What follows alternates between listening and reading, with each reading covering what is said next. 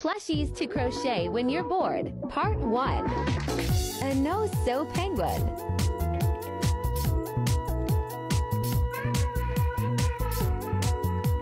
Plushies to crochet when you are bored, part 2. An Easter peep.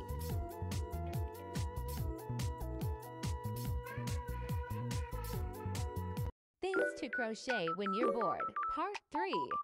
A bumblebee.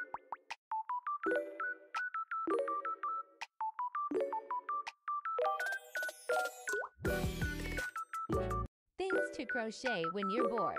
Part 5. An axolotl.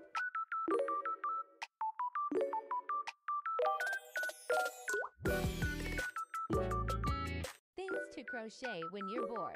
Part 7. A mini octopus.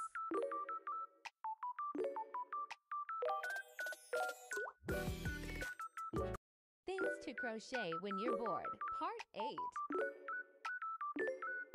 A panda.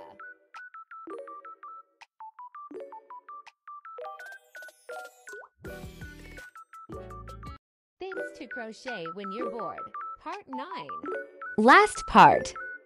A clownfish.